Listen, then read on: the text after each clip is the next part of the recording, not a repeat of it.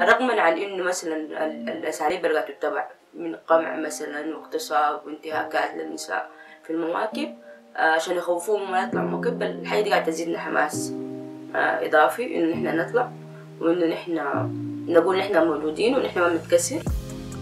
فبالنسبة لي لازم أوصل أصوات النساء عموما. آه، نحن بنقول إنه نحن قاعدين نناضل كنساء في كل المجالات وفي شتى المجالات. لكن في النهاية ما قاعدين يعني ما قاعدين يدونا حقنا كامل. في سودان بيسعى الجميع في سودان فيه حرية وفيه سلام وفيه عدالة. لنا نحن كنساء.